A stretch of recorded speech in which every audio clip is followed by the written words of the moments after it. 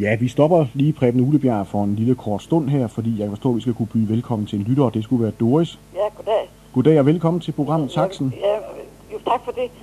Jeg, jeg har længe ønsket at at hilse på herr Glistrup. Ja, goddag, er Doris. Goddag.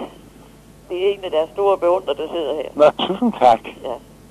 Jeg har sendt, øh, dengang jeg så der, deres, øh, hvad hedder det, nulskattehistorie der. Ja, Og jeg var, har været ansat på Aarhus Skattevæsen. ja. Og så sagde jeg til min mand, han er død nu, så sagde jeg til ham, øh, og han sagde til mand, der sidder verdens modigste mand. Det, det, det, det kommer ikke til at, det kommer til at give genlyd. Jeg har set utrolig mange nulskatteydere Ja, øh, her i Aarhus også. ja, jamen det er der i alle kommuner.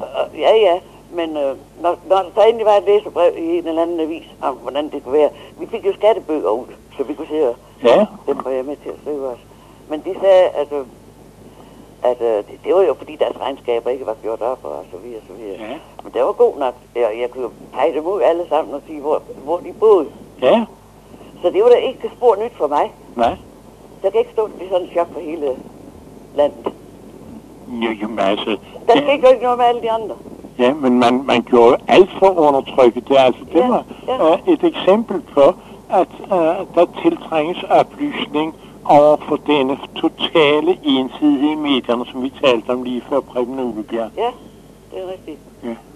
Men øh, der, der var jo ingen, der forstod det rigtigt, hvordan at det Jo, Men loven, det- loven, ja, det var der jo nogen, der gjorde. Men loven, den var jo sådan.